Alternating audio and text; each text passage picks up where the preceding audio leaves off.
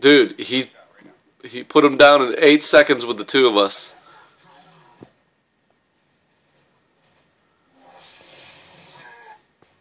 See?